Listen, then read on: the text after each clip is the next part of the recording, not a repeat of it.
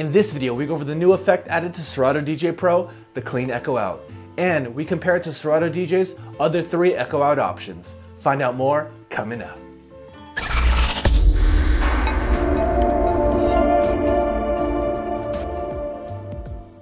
Thank you for watching PDotTV where you'll find tips, tricks, and tutorials for DJs and music performers. Now let's get into the video.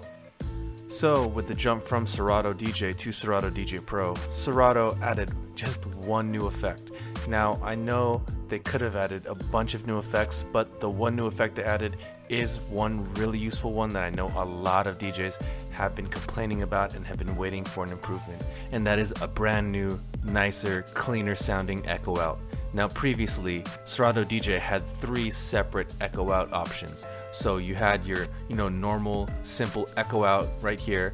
You had your combo fade echo, and then when you put the effects unit into single effect mode, you had the brake echo, which also had this mode change. You could change the fade to make it an actual echo out as well.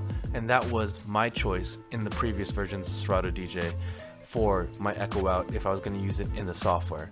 Now we have this new one they've called the clean echo out that in my opinion sounds a lot better. So what I'm going to do now is I'll go ahead and run through each of these four options and engage the effect a couple times so you can get a sense of what each one sounds like and then decide for yourself which one sounds best to you. So first I'll start with the normal echo out.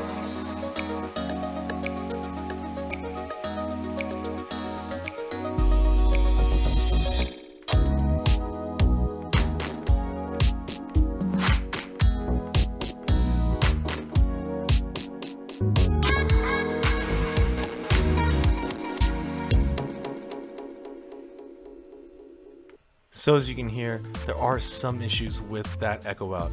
First of all, it sounds really crunchy and distorted when the track has a lot of low end. And also, while this effect is engaged, it has a high pass filter going on. And as that high pass filter gets engaged, it becomes really tinny and really unpleasant to the ear. And that's why it's my least favorite out of these four options. So now let's move on to the combo echo fade.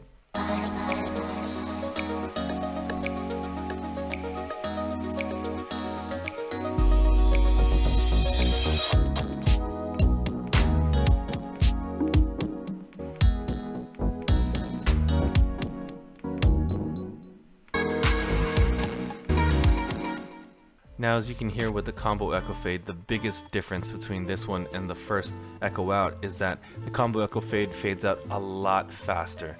And in my opinion, it fades out way too fast, especially if you're doing a long blend that needs that longer echo out tail. But secondly, it doesn't have that real high pass filter effect that you saw with that first echo out so it doesn't sound as tinny and it in my opinion sounds a little bit better but you still get that crunchiness and distortion in the low end so let's move on to the third option and my favorite option in the previous Serato DJ, the brake echo with the mode set to fade.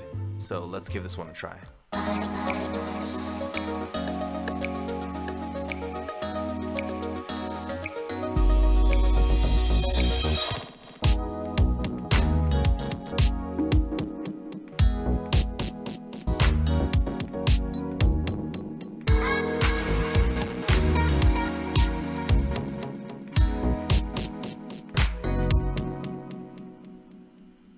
And as you can hear there, it doesn't sound nearly as crunchy or distorted in the low end and still maintains that longer tail. And that's why it was my choice in the previous version of Serato DJ. And if you did want to add that high pass filter in, what's cool about it being in single effect mode, you do have control over the filter as well. So if you wanted to add that in, you could, but if you didn't want it, you can still leave that out as well. And I love that extra control that that version of Out had, but there was still was a little bit of distortion in low and it still didn't sound as clean as the previous Echo Out in Serato Scratch Live, at least to my ear. But now let's try the new version of the Echo Out, the clean Echo Out, and let's see how the sounds compare to the previous three options.